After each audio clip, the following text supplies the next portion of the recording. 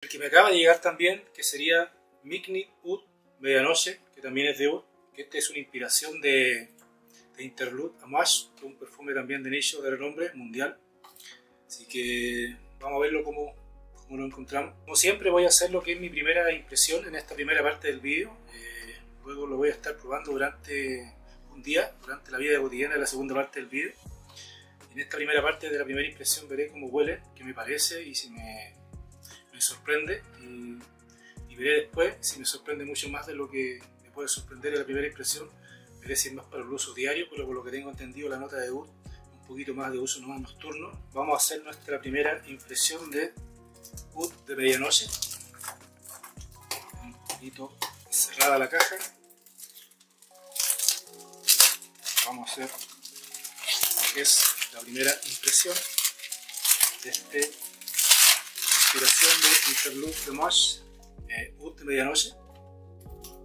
Vamos, primera impresión un poco sobreprotegida lo que es la botella. Mira, Ud de medianoche, mira la botella, qué bacán, qué, qué bonita la botella, alcanza a verla. Tiene la tapa como una, como una corona a divisarla ahí. Vamos a realizar nuestra primera impresión de Wood de medianoche. Primera impresión.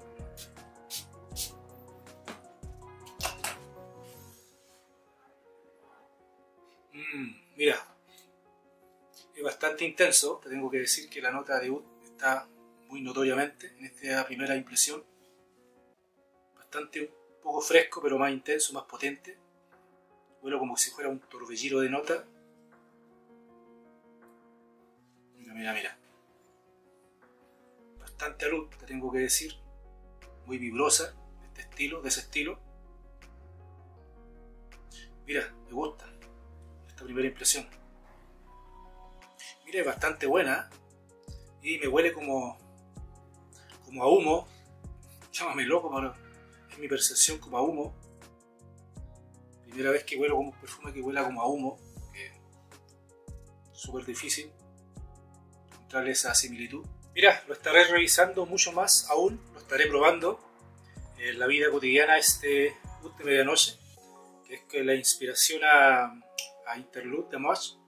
Lo estaré revisando eh, durante la vida cotidiana, durante un día, las duraciones, las recomendaciones, qué me parece y qué tal, y se me sorprende más de lo que me ha sorprendido en esta primera impresión.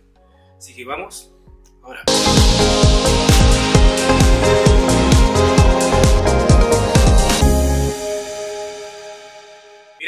Estuve testeando mucho más en papel y en piel durante ese día, durante la vida cotidiana, este Mikling Wood, que es Wood de medianoche, que es la, que es la inspiración a Interlude de Mash, un perfume de renombre mundial de nicho, que este sería como la inspiración, y créeme que lo estuve revisando mucho más y quedé bastante sorprendido de lo que me había sorprendido a la primera impresión. Un perfume bastante intenso, muy llamar la atención, muy, muy extremo, potente. Como te decía, este Wood de medianoche tiene una estela bastante sorprendente que va como a metros, si hay brisa, si hay viento. Pero yo lo recomiendo para más que nada en espacios más que nada abiertos que interiores, porque es un perfume bastante intenso, como muy potente, como que muy, muy invasivo también, pero terminando siendo bastante placentero también. ¿Y cómo huele este Wood? Este Wood de medianoche, este Wood huele bastante, como te decía, bastante intenso.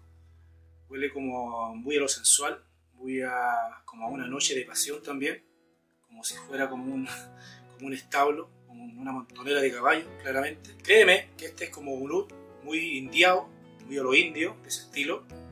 Este es como, como que huele así como a, como a piel de cabra, como sin pulir también. Es como un look bastante prominente. Y ocasiones donde utilizarlo, este wood de medianoche, créeme que no es un perfume de, de calor o de calor extremo, mucho menos de uso diario tampoco. Un perfume totalmente apto para la noche, más para ocasiones especiales, para citas románticas, para discotecas, para pub, para lugares exteriores también.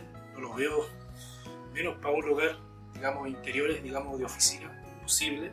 Un perfume de, de hacerse notar, motivo de espacios abiertos, de parque en la noche, motivo de salida nocturna. Un perfume muy sofisticado, que no tiene nada que envidiarle a ningún otro en este caso perfume de, también de mirada insinuante, que es como muy, muy a lo sensual, como muy, un perfume muy atrevido. Y lo que es la duración de este boot de medianoche, después de haberla visto durante el día, en la vida cotidiana, como te dije, durante varias horas, tengo que decir que está sobre la alta, tiene una duración bastante desbordante, que ronda entre las 8 horas y un poquito más, y tiene una estela, una estela que, que es como también bastante desbordante, que va a metros avanzando. Mira, y lo que es mi recomendación de este boot de medianoche, de haberla visto la primera impresión, que era como bastante intenso, después de haberlo visto la segunda impresión, eh, haberla probado durante un día, durante varias horas en la vida cotidiana, te tengo que decir que no es un perfume para todo el mundo, no es un perfume, digamos,